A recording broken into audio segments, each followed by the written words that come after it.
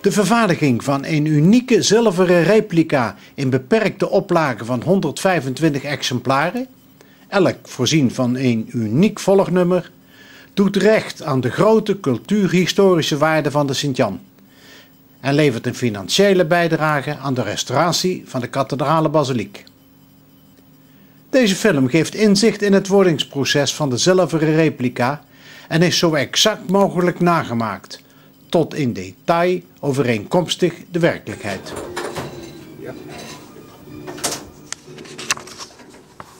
Een jaar of uh, acht geleden inmiddels ben ik begonnen aan de eerste werkzaamheden voor de Sint-Jan. En wat ik eigenlijk gedaan heb, ik ben graveur van beroep. Ik ben degene die alle stempels maakt, of gemaakt heeft. In het totaal een stuk of 70. Die stempels, daarmee zijn eigenlijk uh, onderdelen geperst.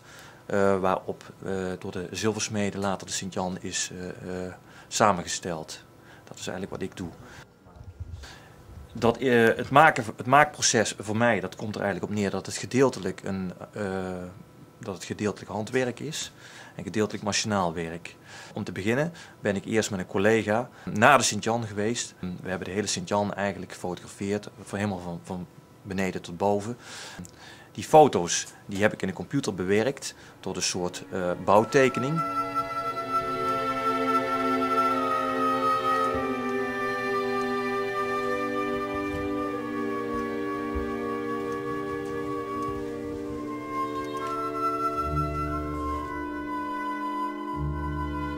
Dit, was, dit waren belangrijke foto's om te kunnen zien hoe daken aansluiten.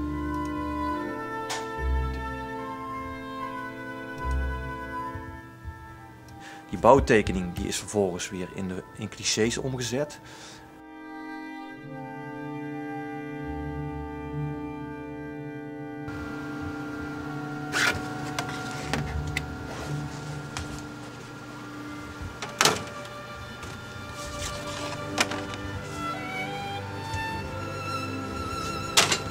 de clichés daarmee uh, zijn vervolgens op de graveermachine stalen stempels gefreesd.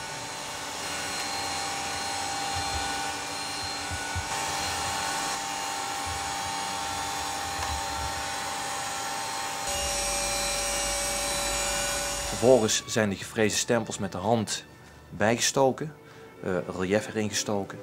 En dan heb je dus een stuk staal waarin eigenlijk een gedeelte van de Sint-Jan inwaarts is uitgewerkt. Vervolgens gaat zo'n blok staal in de oven. Dan wordt het roodgloeiend gemaakt. Dat roodgloeiende staal wordt met een tang uit de oven gehaald en in olie afgekoeld. En dan wordt het staal zo hard. Dan heb je stempel.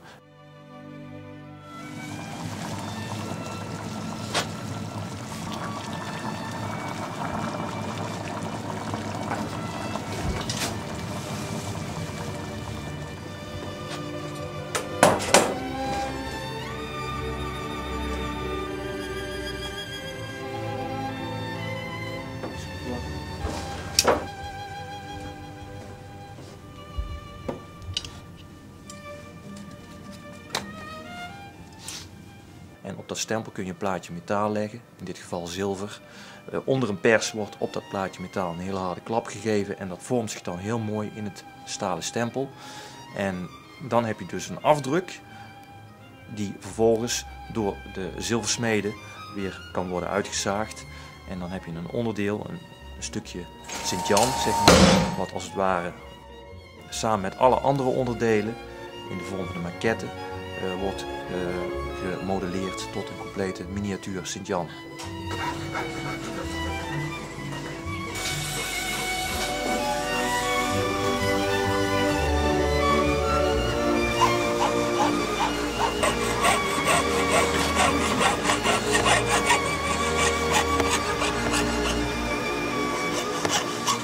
Geperste onderdelen worden nu uitgezaagd.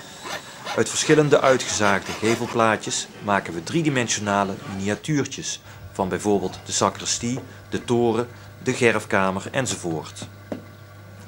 Al deze losse miniatuurtjes vormen straks een complete Sint-Jan, maar zover zijn we nog niet.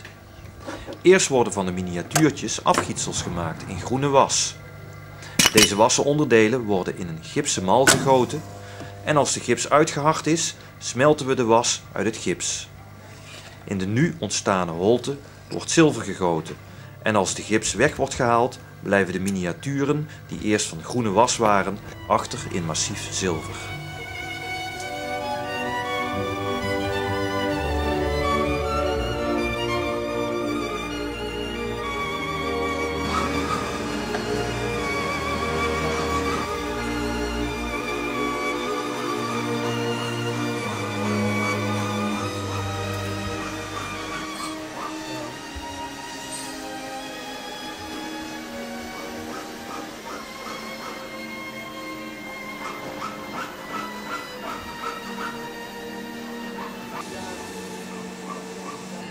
Herkenbaar voor mensen. Die was een spuiter, snel.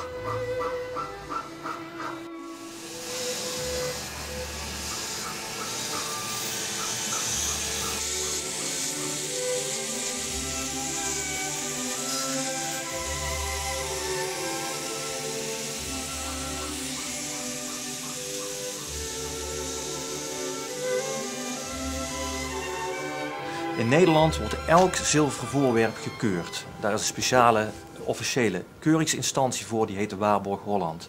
Voor deze gelegenheid heeft de Waarborg Holland ons toestemming gegeven om een extra keur in te slaan, eigenlijk een soort pons. En die pons die is gebaseerd op het oude stadskeur van Sertogenbos, dat al sinds de middeleeuwen wordt gebruikt.